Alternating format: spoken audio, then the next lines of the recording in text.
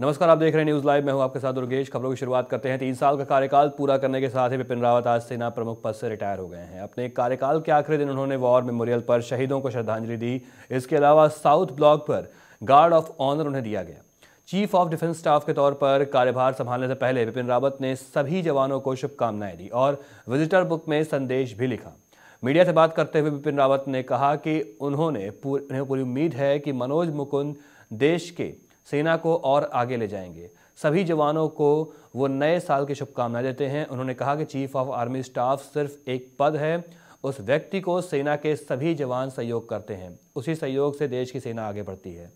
विपिन रावत सिर्फ़ एक नाम है। ये अहदा तभी बढ़ता है जब वो चीफ ऑफ़ आर्मी स्टाफ बनता है।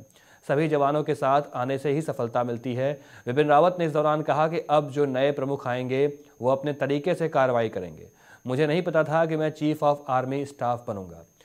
और अभी तक मैं आर्मी चीफ के तौर पर ही काम कर रहा था। उन्होंने कहा कि अपने कार्यकाल में सेना का आधुनिकीकरण करना उसका एक बड़ा कदम था।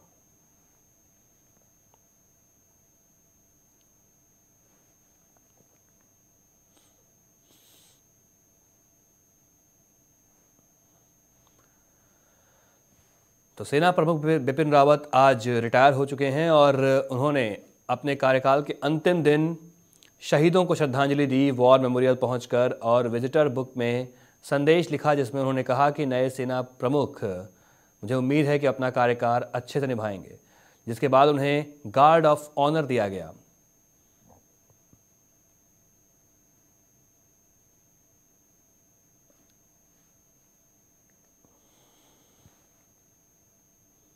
ये तीन तस्वीरें हम आपको दिखा रहे हैं। आप भी देखिए।